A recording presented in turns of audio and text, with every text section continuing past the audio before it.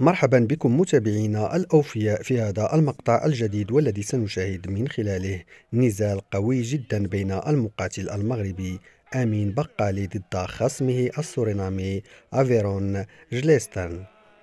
هذا النزال يندرج ضمن منظمة Enfusion للكيك بوكسينغ المقاتل المغربي آمين هو صاحب القفازات الحمراء.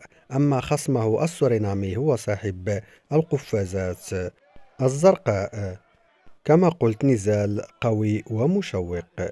المقاتل المغربي آمين حاول بكل ما أوتي من قوة أن ينهي هذا النزال في الجولة الأولى ولكن خصمه السورينامي كان قويا وصلبا.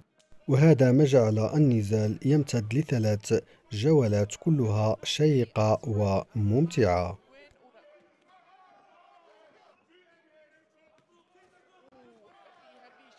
هنا نهاية الجولة الأولى. قبل بداية الجولة الثانية لا تنسى الاشتراك في القناة وتفعيل زر الجرس ليصلك. كل جديد. مع بداية الجولة الثانية حاول المقاتل السورينامي الضغط على أمين لكنه لم ينجح في ذلك خصوصا وأن المقاتل المغربي آمين كانت له ضربات مرتدة قوية أربكت حسابات المقاتل السورينامي الذي خسر نقاط الجولة الثانية بعدما فقد الجولة الأولى.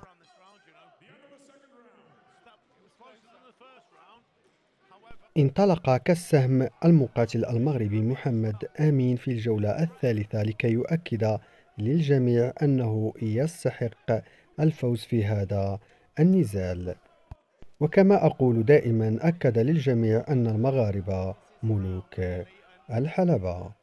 مقاتل مغربي صغير في السن إلا أن أداءه كان كبيرا حيث أمتع وأبدع وأقنع الجمهور الذي كان في جنبات الحلبة.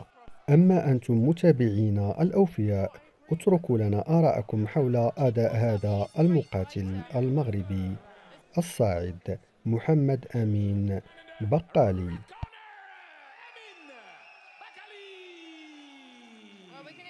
شكرا على المتابعة. نلتقي إن شاء الله في مقطع جديد.